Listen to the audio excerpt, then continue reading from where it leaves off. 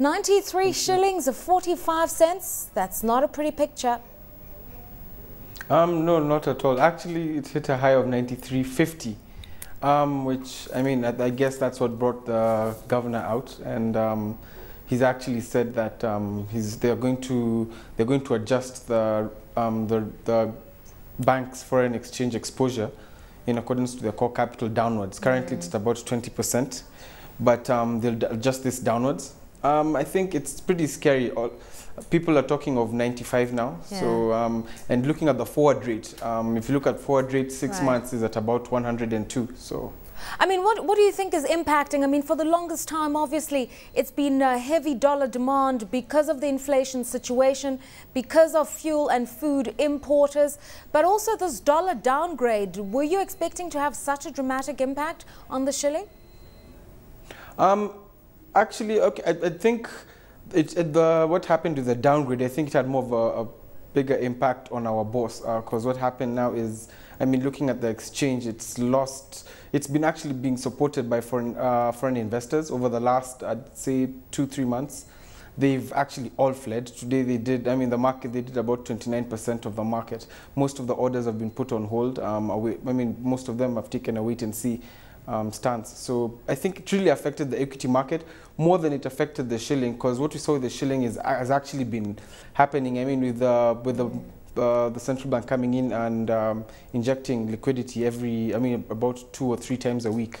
Um, it was bound to happen. It's been weakening since ac actually for the last, um, I mean, since the last week, it's been weakening consistently. Mm. So I think I would blame it more on other factors apart from um, the downgrade of um, American debt. Okay, we also know, I mean, everything about monetary policy and um, what's happened by way of changing the interbank rate or overnight rate, a um, little bit more monetary tightening. What's expected of the CBK in a situation like this? Um, basically, what everyone expects is um, tightening.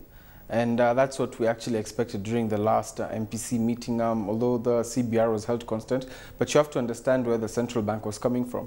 They also don't want to um, um, the lending rates to shoot up because that's definitely what would have happened if um, the CBR had risen.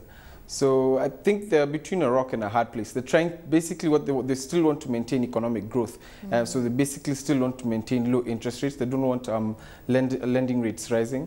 But at the same time, they also have to um, rein in inflation. And this basically means tightening liquidity in the market.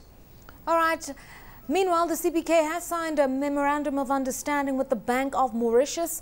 What's that all about? I mean, to what extent do, are we going to see Kenyan banks setting up business offshore? Um, I mean, of course, we'll see. I mean, uh, look at uh, I&M Bank. They're, they're already there. Look at DTB. They're also looking at other regional markets apart from the traditional um, East African community. So um, we should expect um, a lot of banks looking that way. And also, what's happening locally is the margins have really shrunk. And um, there's, especially for the big banks, there's actually no more sp uh, space for growth locally. So they're looking towards other regional markets. So yes, we should. it's actually quite a positive step, and we should expect a lot more to see a lot more local banks looking that way. I mean, talking about those margins shrinking, they seem to be doing so a lot more for the smaller banks as opposed to some of the blue chips that we often speak about. Why this discrepancy? Why are the smaller banks really suffering? Uh, they're facing a liquidity crunch, battling to raise money on the interbank markets. They're battling to attract customers for more deposits. What's the situation there and what explains those differentials? Um, basically, I think times are pretty hard for the smaller banks. You know, the bigger banks, um, first and foremost, the most obvious reason they have economies of scale. And also they're able to invest in, um, um high, I mean, in technology, cut their costs down. Look at KCB, look at Barclays. Um, most of the new, most of the big banks have all installed new systems. Um, this has drastically cut down their costs. The smaller banks don't have that facility. Also, as you said, um, there's a problem with liquidity. Um, with most of the bigger banks holding most of the liquidity, the smaller banks, the, the, cost of funds for smaller banks is a lot higher than you'll find for bigger banks. And also the market is shrinking. Mm. I mean, um, with inflationary pressures on uh, the common uh, man every day, we don't expect um, a, that much of growth in deposits. So what there is to, the, the, deposits that are there are all going to the bigger banks that have a bigger network, uh, such as Equity, KCB. All right, let's talk about the gainers on today's market. Uh, Carbacid, Kenya Re, the Standard Group, all gaining somewhere in the region of about 2 to 3% on their share price. You said that obviously volumes are lower, foreigners staying back. So what accounts for this trade? Um, basically, I mean, look, um, there are a lot of also local investors who are seeing bargains these prices. Um, I wouldn't say they really drive the market, but um, you'll see um, some investors coming in. I mean, and all, the foreign investors were not all out. There was about, uh, I mean, they did about 29% of market share today, although mostly they were looking at Safaricom and uh, Equity Bank.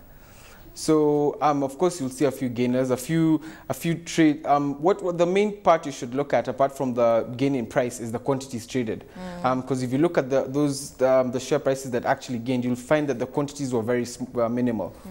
So someone basically traded a bit high, so it drives the the, the price up. Okay, and finally, comparisons between the equity market and the fixed income market. We do know today about 1.8 billion shillings was transacted on the fixed income side. Investors have been struggling, you know. Do they look for bargains in equities? Do they try to put their money in government securities? Because either way, they're between a rock and a hard place. Um, I think what we're seeing with actually a lot of investors, they would rather put their money in the short end of the yield curve because we've seen quite a lot of activity um, in bonds ranging from tenors of two years and below.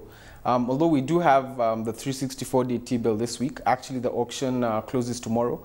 We expect this to come in at levels of between 11.50 to 12 percent. Mm. So um, we'll see a lot of money coming into into the into the short end because as, as we've been seeing actually.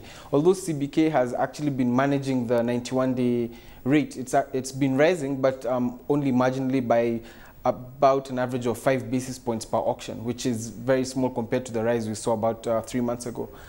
But um, I think the short end has um, a lot of bargains. If you're going to get a one year paper at 12 percent that's a buy for anyone